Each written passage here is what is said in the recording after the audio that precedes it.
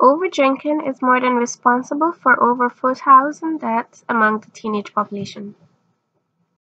Teenagers drink alcohol for reasons based on social influences, family influences, and as an escape from current problems or stress.